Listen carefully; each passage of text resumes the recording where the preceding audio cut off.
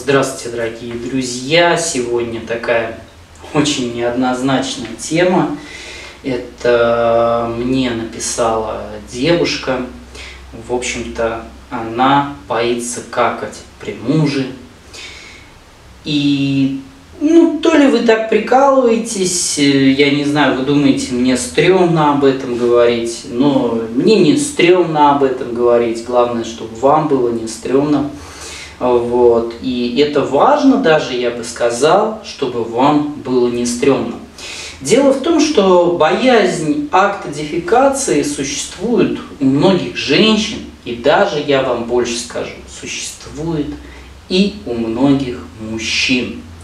Э, наши, так скажем, не знаю, как там за границей, но наши там панельные вот эти дома, хрущевки, они прекрасно разносят все звуки, которые очень часто сопровождаются актом дефекации, да, и многие боятся из нас, что кто-то что-то это услышит, как-то так про них подумает и так далее.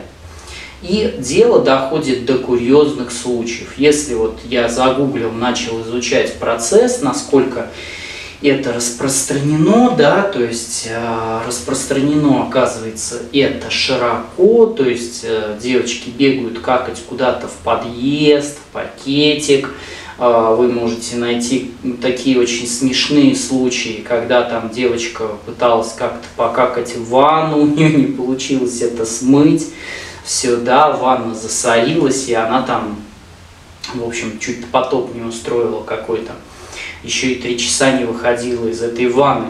И очень много таких вот историй профильненьких, да. И, соответственно, э, что делать, да, главный вопрос, волнующий всех. Э, дорогие друзья, здесь э, нужно рассматривать, что, как и э, во многих своих видео, я говорю, что есть вот эти вот намеки на какое-либо расстройство. Я не могу сказать какое. От комплексов до какой-то тревоги. Вопрос еще конкретно в чем выражается этот страх, как выражается, то есть что вы испытываете при этом. Просто стеснение или, допустим, э, бывает, что это прям реально тревога и паника у человека наступает. То есть он уже перешел из стадии стеснения, перешел в такой, как бы, понимаете, страх, что ли, да, то есть когда он вот думает, она или он, девочка, что, соответственно, человек, который э, увидит или услышит, вот как совершается акт дефекации, он там как-то отреагирует, начнет высмеивать, еще что-то, и это вообще вплоть до невроза может вызывать такая навязчивая идея. Вопрос, что у вас. Но если такое есть, с этим по-любому нужно что-то делать. Просто так оставлять это нельзя.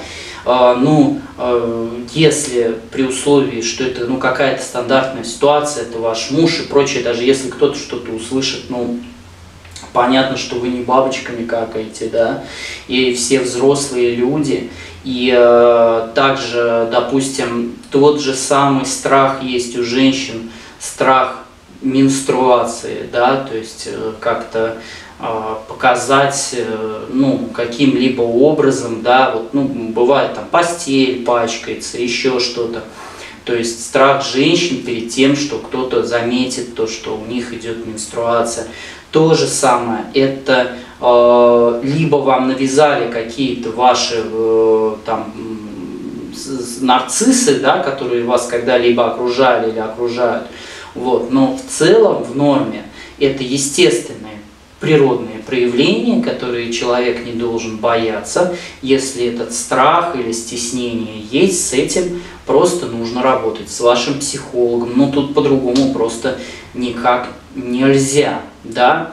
А, значит, что еще хотелось бы сказать? Может быть, я отдельно поговорю о каких-то возможностях терапии. Я сейчас думаю, то есть как-то начать с вами терапевтически работать через камеру, но все так настолько индивидуально, что, если честно, я еще не придумал, какие вот универсальные средства из терапии ну, могли бы помочь, допустим, в этом случае, потому что все бывает у людей очень по-разному. В психологии нет какого-то вот универсального способа, совета, который бы я мог дать в плане вот конкретно решения этой проблемы.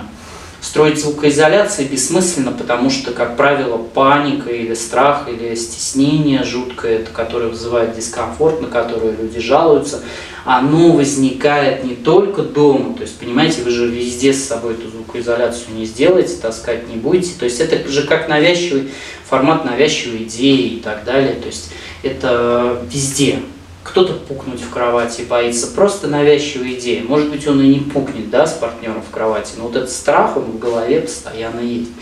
Поэтому, дорогие друзья, не бойтесь пукать, не бойтесь какать. Я желаю вам здоровья. Подписывайтесь на мой канал, ставьте лайки, пишите обязательно внизу свои комментарии. Я вас жду на своих онлайн-консультациях, в своем инстаграме. И да пребудет с вами здоровье!